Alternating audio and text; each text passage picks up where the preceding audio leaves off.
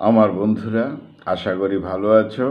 Welcome to my channel honours bros আজকে আমাদের আলোচ্য বিষয় হলো একটি ইংলিশ পোয়েম যার নাম bequest bequest written by Eunice D'Souza Eunice D'Souza একজন Indian poetess novelist and critic এই ইউনিস ডিসুজা তিনি মুম্বাইয়ের সেন্ট জেভিয়ার্স কলেজে শিক্ষকতা করেছেন। জন্মগ্রহণ করেছিলেন নাইনটিন হান্ড্রেড ফর্টি পুনেতে।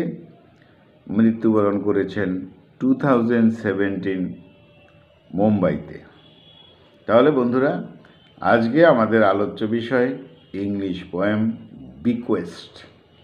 বিকোয়েস্ট অর্থাৎ দান করা, যেন অনেকটা উইল করে দান করা।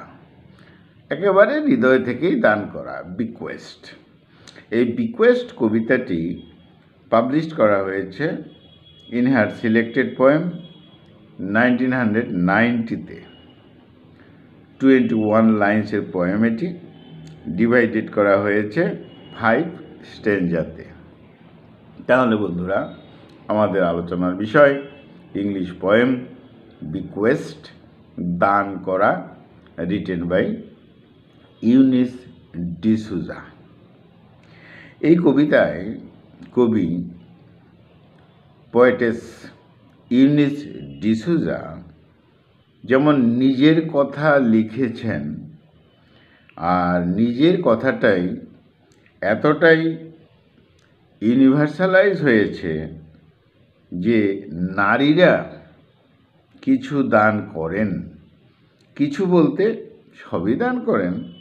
অর্থাৎ নারীদের ইচ্ছাকে, তাদের ফিলিংসকে তাদের ইমোশনকে তাদের হার্ট হৃদয়কে, ভালোবাসাকে, অর্থাৎ নারীরা দান করেন।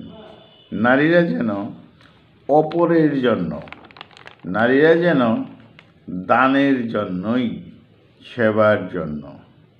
কিন্তু বিনিময়ে নারীরা তা সঠিকভাবে যা ফেরত পেতে হবে, সেখানে প্রবলেম রয়েছে। এই মেল ডমিনেটেড সোসাইটিতে যা দান করেন নারীরা, তার বিনিময়ে ফিরে পান না যতটা পাওয়া উচিত। যাই হোক, এই কবিতাটি বিকোয়েস্ট একটা লিরিক পোয়েম থিম এখানে ওমেনহুড অর্থাৎ এখানে ফ্যামিনিজমের ব্যাপারটা রয়েছে, নারীবাদের বিষয় রয়েছে। ইউনিস ডিসুজা ধর্মীয় দিক থেকে একজন ক্যাথলিক ছিলেন, ক্যাথলিক ক্রিশ্চিয়ান। তাই কবিতাটা শুরু হয়েছে এভাবে in every Catholic home there is a picture of Christ holding his bleeding heart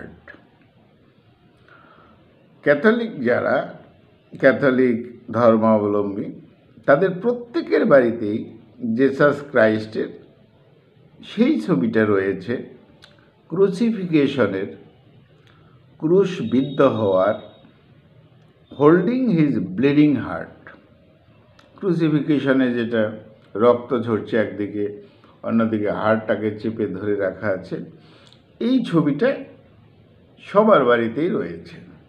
অর্থাৎ প্রত্যেক ক্যাথলিক ধর্মপ্রাণার মানুষের বাড়িতে জেসাস ক্রাইস্টের এই রক্তছড়া হার্ট সমেত ছবি ঝুলিয়ে রাখা হয়। এটা পবিত্র ছবি। আর ক্রাইস্টের অপর হাত হার্টের উপর থাকে। ক্রাইস্টের এই ছবি একটা সিম্বল, প্রতীক হিসাবে বিবেচ্য। যে ক্রাইস্ট অপরের জন্য শুভচিন্তক, অপরকে ভালোবেসেছে, তার বিনিময়ে এই রক্ত ঝরা চিত্ররূপ, একটা প্রতীকী কথা বলে। কি? অর্থাৎ নারীরা নারীরা ক্রাইস্ট কথা নয়, নারীরাও এরকম সেবা করে থাকে। শুভ চিন্তক অপরের। কিন্তু নারীদেরও যেন এভাবেই এভাবেই এরকম একটা ভয়াবহ চিত্ররূপ রয়েছে। বিনিময় কিছু পাওয়া যায় না। ইনডাইরেক্টলি বলা হয়েছে মেল ডোমিনেটেড সোসাইটিতে এই নারীদের অনেক দুঃখ, অনেক কিছু দিয়েও নারীদের প্রাপ্তি হলো দুঃখ সাফারিংস পরবর্তীতে বলা হলো কবিতায় I use to think ah হ্যাঁ কবি বলেছেন হ্যাঁ আমি চিন্তা করি এই ছবিটা দেখে, অর্থাৎ ওই জেসাস ক্রাইস্টের ছবি দেখে একটাই শব্দ আসে, আহ, আর নারীদের অবস্থা দেখেও আমার মনে হয় কি, ওই আহ শব্দটা। একটা আত্মার চিৎকার, একটা হৃদয় বিদারক শব্দ বেরিয়ে আসে। কবি ভাবছেন এই কেমন ছবি?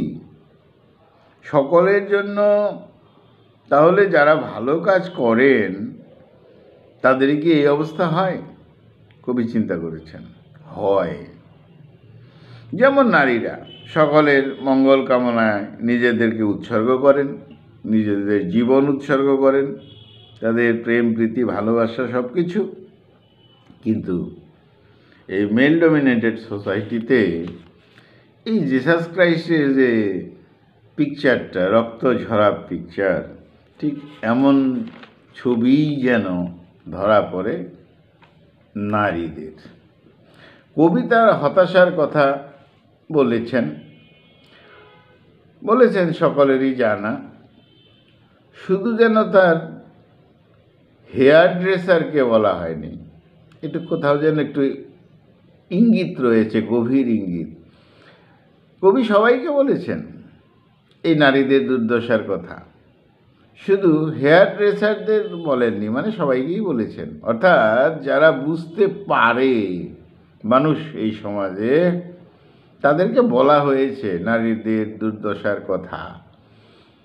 এই সমাজের মানুষ জানেও, অথচ পুরুষ শাসিত সমাজ তাদের এই নারীদের দুর্দশাকে গুরুত্ব দেয় না। অর্থাৎ এই সমাজ নারীদেরকে বুঝেও বোঝে না। তত্ত্ব কথায় অনেক কিছুই বলে, কিন্তু সত্য কথায় কিছু বলা হয় না। সিম্প্যাথি নাই নারীদের প্রতি। কিছু লোক আছে তারা বলে, কি বলে? যে নিয়ম চলে এসেছে সমাজে, তাই ফলো করা উচিত। অর্থাৎ নারীদের যেমন রয়েছে, যা হচ্ছে, তেমনই চলা উচিত। এর থেকে নারীদের আর কি চাই?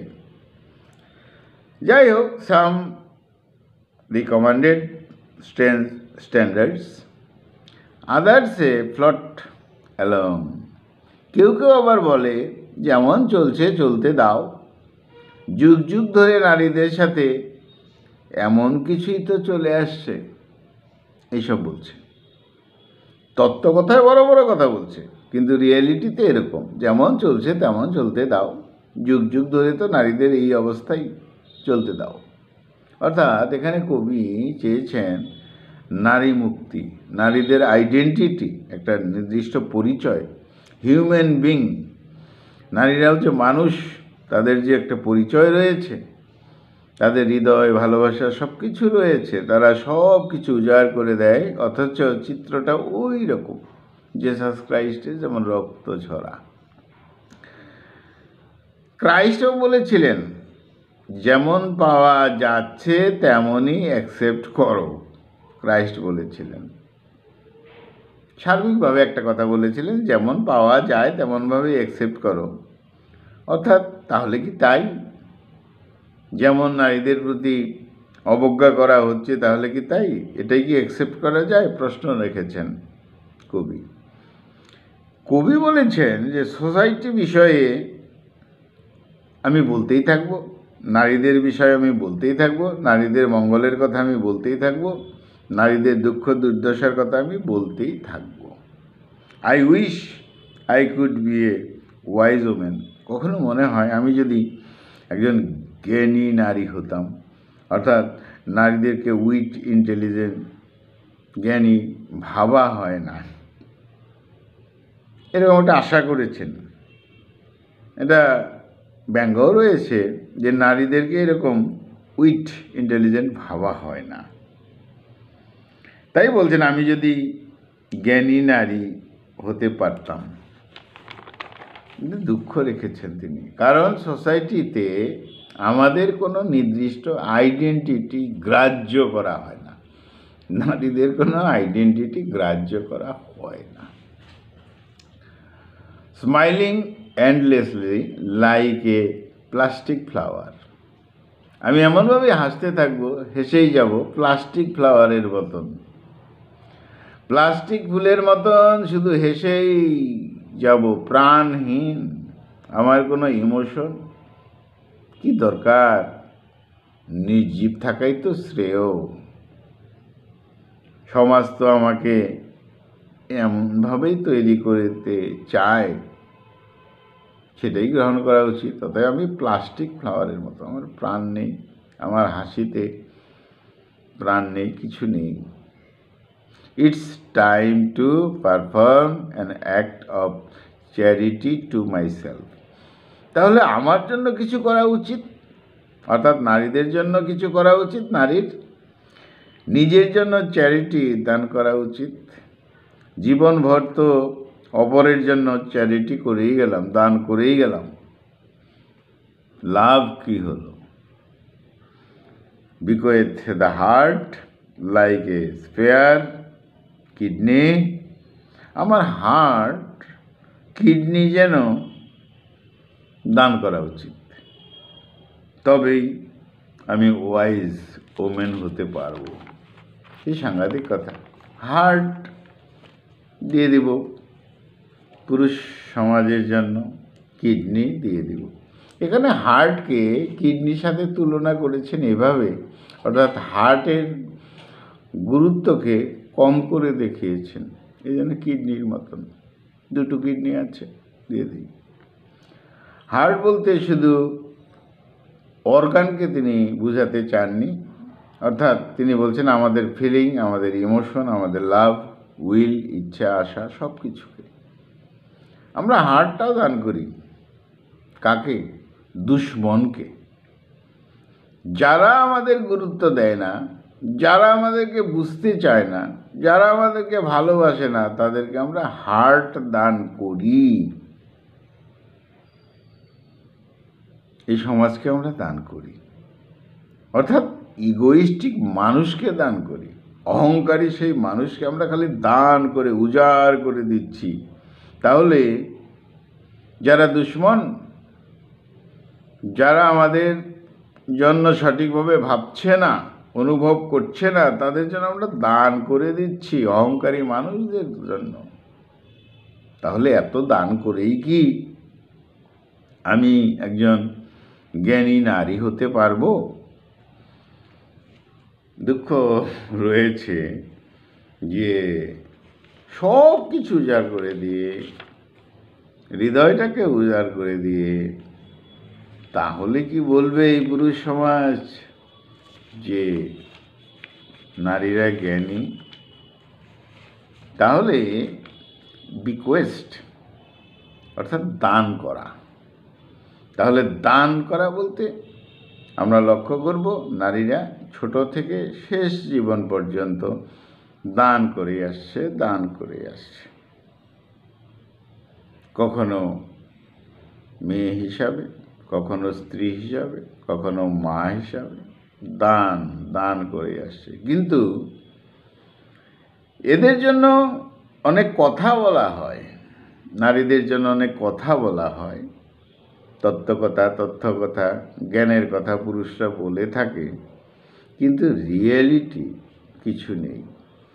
তাই কবিতার শেষে একটা সাংঘাতিক বিষয় যে যারা ইগোয়েস্টিক মানুষ, অহংকারী মানুষ, যারা নারীদেরকে ইম্পর্টেন্স দিল না, গুরুত্ব দিল না হিউম্যান বিইং হিসাবে ভাবলো না আইডেন্টিটি তাদের দিল না, সেই দুশ্মনদের জন্য সব কিছুই দান করব।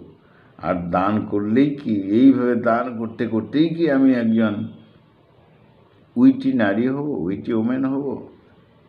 প্রশ্ন রেখেছেন গভীরভাবে। যাই হোক বন্ধুরা, খুব টাচি একটা কবিতা। আজকে আমাদের কবিতা ছিল English poem bequest, written by Eunice D'Souza. বন্ধুরা, খুব ভালো থেকো, খুব ভালো থেকো। আমার চ্যানেলটা সাবস্ক্রাইব করো। Thank you thank you